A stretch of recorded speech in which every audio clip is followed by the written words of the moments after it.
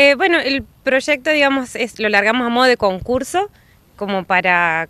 tiene dos objetivos, digamos. Por supuesto, generar la, eh, la recolección, digamos, de, de materiales que son fácilmente reciclables, que por eso elegimos también botella, cartón y latas, que son materiales que no van, a tener problemas como para que los chicos entren en contacto. En un momento habíamos pensado en vidrio para los más grandes, pero bueno, lo dejamos de lado por una cuestión de seguridad.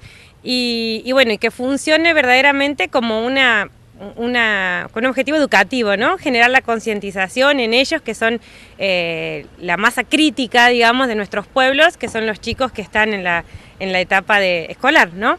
Y bueno, lo apuntamos a esto, a los últimos años, tanto de las escuelas primarias como de las escuelas secundarias.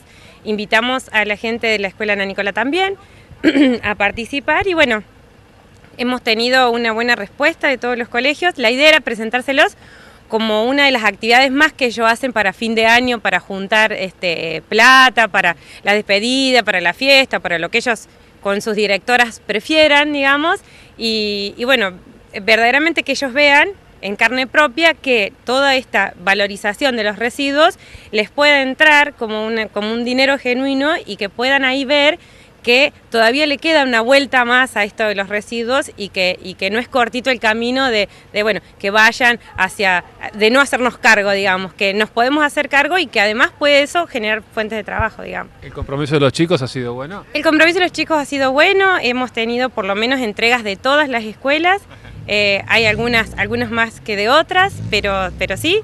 Eh, el principal volumen de lo que hemos recibido fue, o sea, de lo que hemos recolectado, nosotros lo vamos a buscar a las escuelas cuando ellos nos avisan. Eh, nos tienen un poco de paciencia, a lo mejor tardamos un día o eso, pero bueno, la idea es que es hacerlo directamente desde el área de medio ambiente como para tener esas corrientes controladas, porque las queremos pesar para que tengan bien los datos para, para cuando hagamos el cierre del concurso, eh, bueno, no tener ninguna, ninguna suspicacia. Y bueno, la mayoría de lo recolectado es cartón, eh, los chicos se han movilizado diferente por ahí en las escuelas, algunas escuelas se han organizado y van a los comercios y retiran en cartón, así que no, la verdad que bien, este, eh, eh, la mayoría de las escuelas también han, extendido no solamente al, último año, sino a que toda la escuela colabora, digamos, en la, en la recolección. Los chicos lo llevan para la escuela y lo van juntando con los vehículos. Y esto está diagramado como un concurso, es decir, en, aproximadamente en octubre va a haber un ganador, digamos, ¿no? Exactamente, la idea es para cuando termine octubre y eh, hacer el cierre, que haya un ganador, entregarle los premios y bueno, que ese dinero que ellos les llegue, bueno, lo usen con el fin que, que prefieran. Es realmente interesante y sobre todo aporta a algo que por ahí nos está siendo complicado en Wincarnanco, que es el tema del tratamiento de los desperdicios, la separación, sobre todo domiciliaria. Sí, eh, bueno, como, como deben haber visto hace unas semanas, estamos intentando, digamos, salir con una nueva campaña de concientización, eh, siempre que los residuos sean separados en origen, sea, es decir, yo en mi casa ya no mezclarlos, Después, para afuera es más fácil para gestionarlos y para poder aprovecharlos también en esto de, eh, de poder darles una, nueva vuelta a eso. todo esto se vende.